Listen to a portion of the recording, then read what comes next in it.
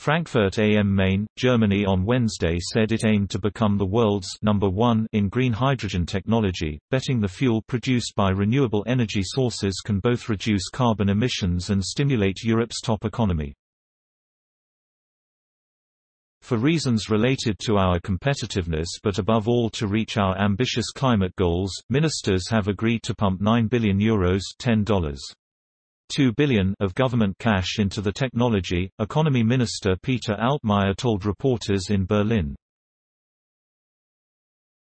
7 billion euros will go on supporting hydrogen's entry into the market in Germany, while a further 2 billion euros are earmarked for international partnerships, Altmaier added.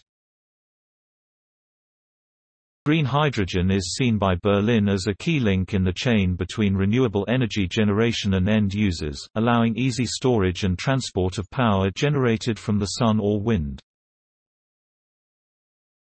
So-called green hydrogen is produced by electrolysis, using renewable electricity to split water into hydrogen and oxygen, rather than being obtained from fossil sources, as the gas historically has been. Possible applications for the new fuel include production of climate-neutral steel, storage of energy for the winter, or powering road vehicles as an alternative to battery electric drive. Altmaier said by 2030, Germany aims to build 5 gigawatts of hydrogen producing capacity nationwide, rising Ministers also hope to export the technology and know how to produce green hydrogen to other countries supporting fossil fuel exporting nations and developing countries in building up hydrogen production means new markets for German builders of industrial plants, which would in turn feed Germany. The Made in Germany seal of quality should be stamped on green hydrogen technology, agreed Research Minister Anja Karliczek. With the launch of its hydrogen strategy in the midst of economic recovery debates, Germany shows that long-term investments in zero-carbon technologies are a necessary part of the crisis response, said Claudia Kemfert of Berlin think tank DIW. The gas would replace coke and pulverized coal as a reducing agent to remove oxygen from iron ore, producing water rather than climate-changing carbon dioxide.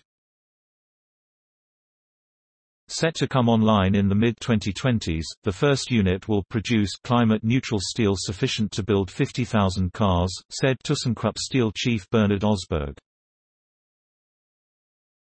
You can't achieve a comparable climate protection effect with green hydrogen anywhere else than steel, he added. ThyssenKrupp plans to make all its steel output climate neutral by 2050.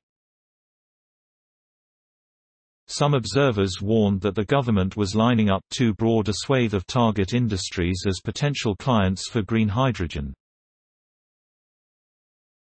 Green hydrogen will be a scarce resource, said energy and climate expert Konstantin Zerger of Germany's DUH Environmental NGO.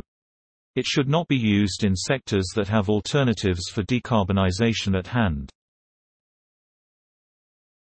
This goes for cars and heating in buildings in particular. Quote,